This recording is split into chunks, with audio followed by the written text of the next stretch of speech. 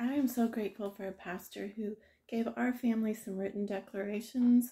Um, we just made copies of them so that we have some truth handy in our Bibles, handy in our car, and we can just declare them over ourselves.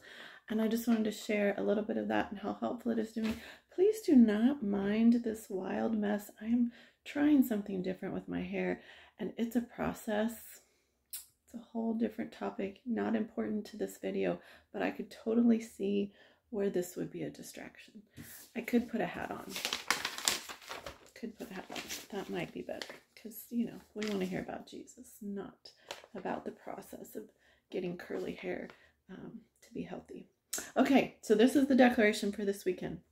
By the resurrection of Jesus Christ from the dead, I am thankful that you have made provision for me, so that today I can live full of the Spirit, with love and joy and peace. Hallelujah, I need some peace. With long suffering, gentleness, and goodness, with meekness, faithfulness, and self control. Somebody, this house needs self control. I recognize that this is your will for me, and therefore I reject and resist all of the endeavors of Satan and his wicked spirits to rob me of the will of God.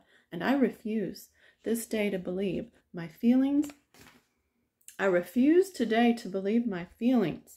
I hold up the shield of faith against all the accusations, the distortions, the insinuations that Satan is bringing into my mind, and I claim the fullness of the will of God for my life today.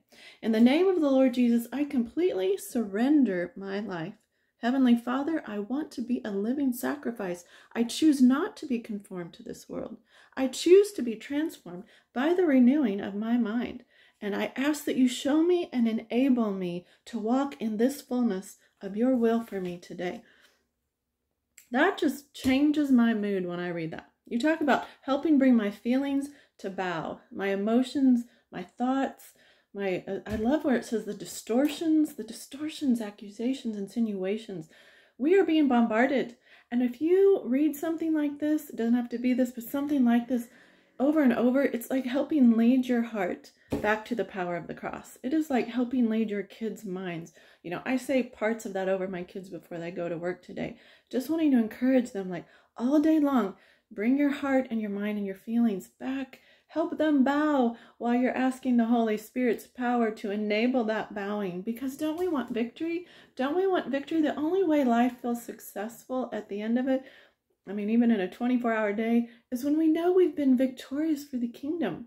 And there's a war for our mind, there's a war for our feelings. And I would just encourage you to join me in that. And let's help each other not not um, let our feelings run rampant so that we're living in constant confusion and chaos okay bless you today hope you have time in the word and worship and have a happy worship day declare truth over yourself and let's be victorious